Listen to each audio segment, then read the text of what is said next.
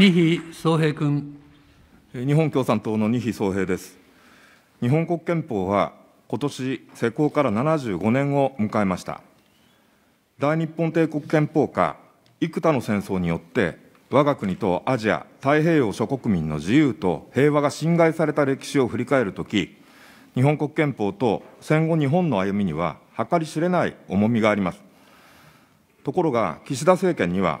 その認識が驚くほど欠けています。安倍元首相の国葬強行はその一つです。戦前国葬は、大日本帝国が国民の自由と権利を圧殺し、植民地支配と侵略戦争へ突き進む中で発せられた大正15年10月の勅令、国葬令に基づいて、戦争遂行へ国民を精神的に総動員するてことされました。だからこそ、日本国憲法の下、国葬令は失効し、国葬の法的根拠は失われたのです。それは、天皇絶対の戦争国家から、主権在民、恒久平和を希求する平和日本へという我が国の歴史の根幹に関わる問題であり、それを一閣議決定で行えると考えたこと自体、驚くべき浅はかさと言うべきです。反社会的不法行為を続けてきた統一教会と自民党の底なしの癒着はどうでしょうか？国民の怒りと不信が沸騰する中で、岸田政権は関係を断つと言いながら、これまでの関係のどこが問題で、なぜ関係を断たなければならないのか、何度聞かれても自らの言葉で語れず、政府・自民党としての責任ある調査を行おうとしません。その根本には、岸信介元首相以来、半世紀を超える深い闇があります。1975年4月、福田赳夫首相は、本院予算委員会で統一教会と関係を断てと迫る我が党議員に、勝共連合というのは、自由民主党といろいろ反共という点で共通する点があるんです。そう悪いことを一般的にしておるというような認識ではございませんので、調査するということは考えません。と開き直りました。1984年7月、中曽根康弘首相は本会議で、自民党は縁を切れとかなんとか言っておられますが、これは思想と行動の自由に対する重大なる審判発言であると私は考えています。と言い直りました。政府・自民党が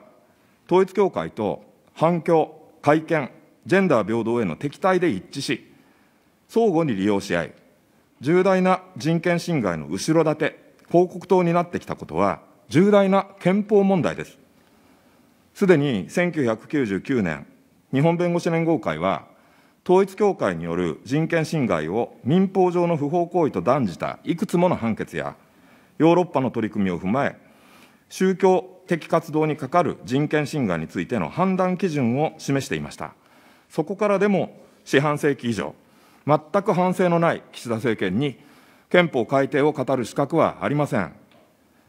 立憲主義を取り戻し、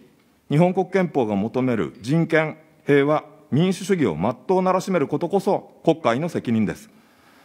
ウクライナ危機に乗じて、日本の政治に起こっている敵基地攻撃能力保有や核共有など、大軍拡と憲法9条改悪の大合唱は重大です。それは、専守防衛を捨て、戦争する国へ、逆に戦火を呼び込み、暮らしと自由を壊す危険な道に他なりません。戦争に勝者はありません。戦争は政治の敗北に他なりません。ロシア、プーチン政権が核兵器で世界を威嚇し、ウクライナ侵略を続ける中、6月、ウィーンで開かれた核兵器禁止条約第1回締約国会議は、核兵器の非人道性を再確認し、核兵器のない世界に向けた希望あるメッセージを発して、画期的な成功を収めました。そこには、植民地体制の崩壊、100を超える主権国家の誕生という世界の構造変化のもと、すべての国々が対等、平等の資格で国際政治を動かす生きた力を発揮する新しい時代が開かれつつあることが示されています。米国と軍事同盟を結ぶドイツ、ノルウェー、ベルギー、オランダ、オーストラリアの5カ国がオブザーバー参加し、例えばドイツが、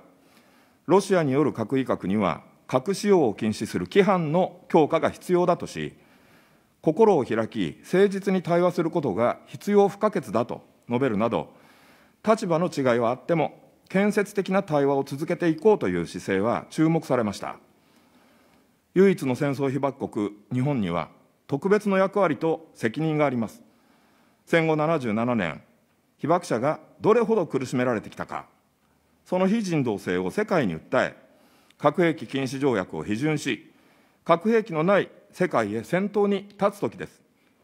力ずくで他国の領土や民族を支配しようとする歴史の逆流を決して許さず、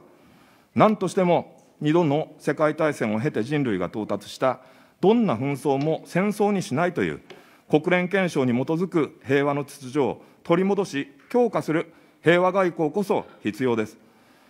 私は弁護士として、目の前の一人の被害者の後ろには、同じように苦しむ1000人の人たちがいると肝に銘じ、被害ある限り、絶対に諦めないと力を合わせてきました。憲法は国民のものです。国民は改憲を求めていないのに、上から押し付けようとするところに根本的な矛盾があります。この憲法審査会を動かすことは、勢い、改憲項目をすり合わせ、発議への地ならしとなる重大な危険をはらんでいます。審査会は動かすべきではないことを改めて強く申し上げ、意見表明といたします。山本